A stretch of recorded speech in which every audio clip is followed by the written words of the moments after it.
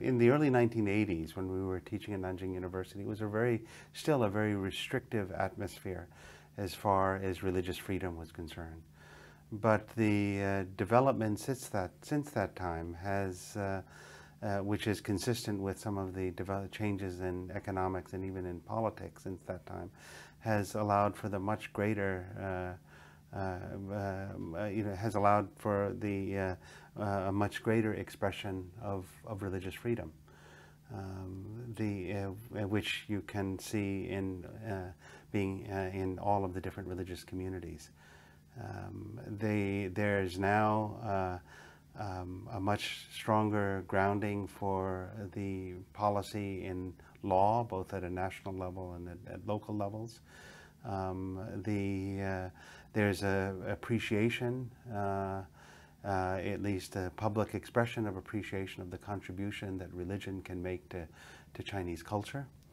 And uh, at the same time, there are places where the policy of religious freedom uh, has not been adequately implemented or where there are still uh, restrictions. and these are the things we read about um, in, in our newspapers.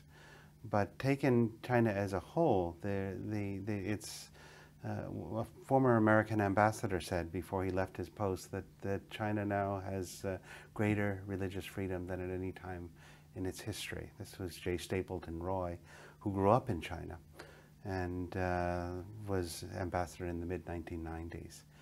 Um, there's still tensions in areas of that. I think uh, um, there's a lot of questioning now about where this is all leading. Um, as the numbers of religious believers continues to grow, as the government in some ways tries to uh, um, respond to that with, uh, but at the same time, there's a wariness on the part of government officials about whether this will, religion will become uh, an area for uh, foreign infiltration, as they call it, or or a uh, area of that uh, can help promote political unrest. And this explains the uh, continuing repression of Falun Gong and of uh, uh, some of the uh, Tibetan Buddhists and, and the Muslims in Xinjiang province. I tend to see that this is now, that as more people make use of the policy of religious freedom in, uh, they wouldn't express it that way, but by going to church or by worshiping in temples, and um, it tends to expand the space that is given for religious believers. And I think, uh, uh, as in countries all over the world, uh, uh, and as is, you know, innate to, to humankind, that there's a, a religious um, dimension for human life.